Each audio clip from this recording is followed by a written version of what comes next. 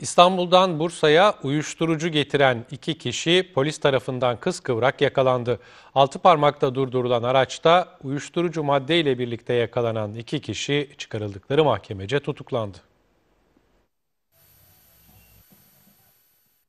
Bursa polisi nefes kesen bir uyuşturucu operasyonuna imza attı.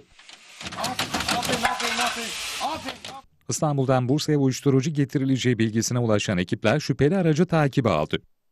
Kısa bir kovalamacanın ardından Altıparmak Caddesi'nde durdurulan araçta bulunan iki zanlı gözaltına alındı. Narkotik köpeği Alfa'nın da yardımıyla yapılan aramada araçta gizlenmiş 50 gram esrarla bir adet hassas terazi ve ruhsatsız bir silah ele geçirildi. Gözaltına alınan zanlılar emniyetteki ifadelerinin ardından adliyeye sevk edildi. İki zanlı çıkarıldıkları mahkemece tutuklandı.